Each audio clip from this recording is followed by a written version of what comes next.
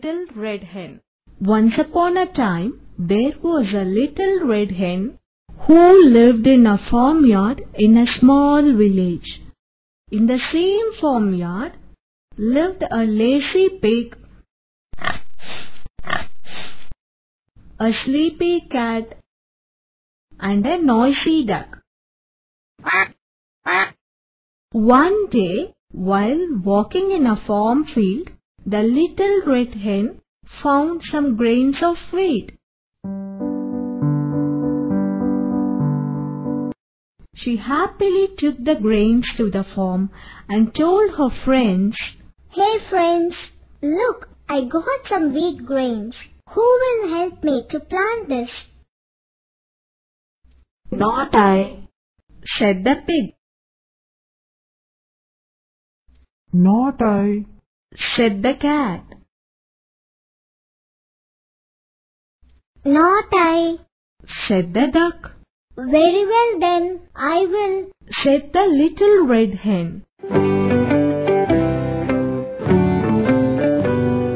And she planted the wheat grains. The sun shone and the rain fell.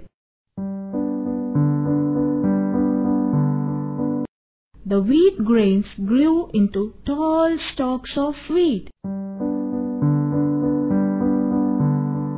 After a few days, the wheat was ready to harvest. So the little red hen asked her friends, The wheat is ready to harvest. Who will help me cut the wheat? Not I, said the pig. not I, said the cat, Not I. said the duck, I will, said the little red hen. And she did it all by herself. Later, she carried the heavy wheat stalks to the farm. Then she asked her friends, who will help me to thresh the wheat? Not I, said the pig, not I, said the cat, Not I. said the duck, I will, said the little red hen. And she threshed the wheat all alone. Then she called her friends and asked, who will take this wheat to the flour mill and grind it into flour? Not I, said the pig, not I, said the cat, Not I. said the duck, Very well then, I will, said the little red hen. And she carried the heavy wheat to the flour mill and ground it into flour.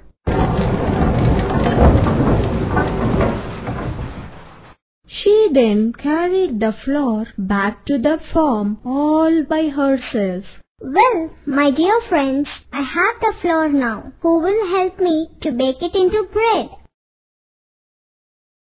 Not I, said the pig, not I, said the cat,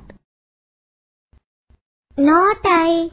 said the duck, Very well then, I will, said the little red hen. And she kneaded the dough, rolled it, and baked it into a fine large loaf of bread.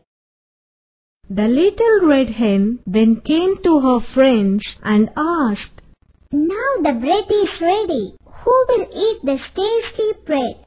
I will, said the pig, I will, said the cat, I will. said the duck, Oh no, you won't.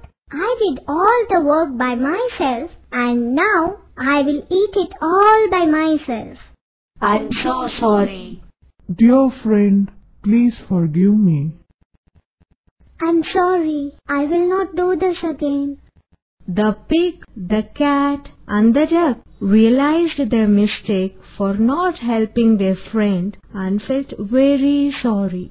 The little red hen forgave her friends and happily shared the tasty bread with them. They all enjoyed the nice tasty bread for their supper.